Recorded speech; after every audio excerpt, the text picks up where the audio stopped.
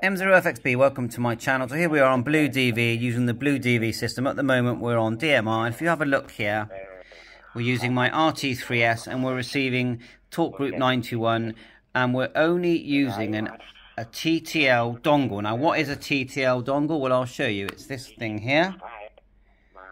CP2102 module. It's a USB to TTL, USB to serial dongle and it looks like this okay? Now blue dv software made by pa7 lim now these dongles are about five pound okay? About five pound to buy. The software is completely free. The software is made by PA, pi7 lim and if you look at my i will show you my settings. Just go we'll just log out. Menu setup Here's my settings. Now all you have to do really is put your call sign in, select the correct COM and away you go. Now the COM port, if you right click here, device manager, like so, and then double click COM port, there it is there. And this is what you need to be seeing.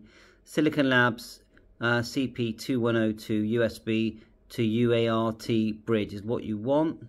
Now I'm going to just log that back in. We'll save our settings and then we'll log back in like so. Now you can update all your host files. You just go update here.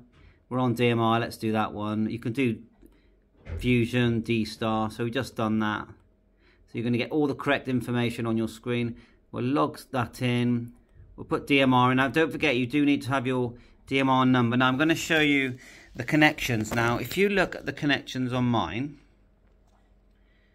Hold the hat upside down like so, with the antenna to your left, and then the right hand block is not being used. Now look at the wires. Now at the top, try and get some better light on this. Okay, so if you look at the block here, on the top left of the, the pin nearest the, the furthest away from me, the purple colour, that is your 3 volt live. The blue pin, oh, obviously you could use red and black. The blue pin is your ground, okay? Your ground. The yellow pin is your RX and the green pin is your TX.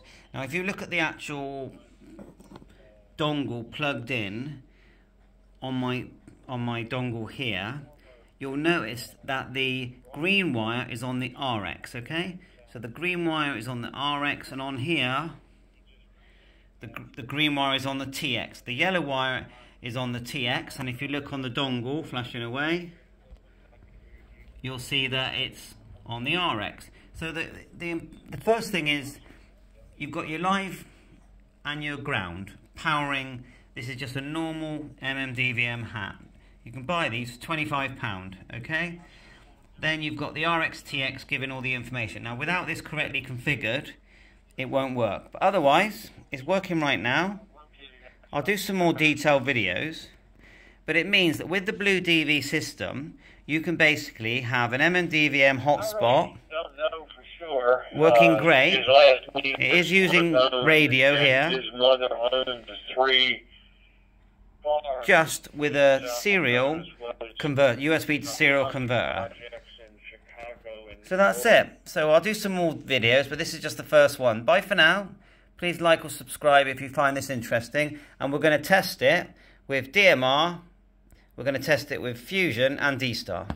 Bye for now. 7-3. All the best.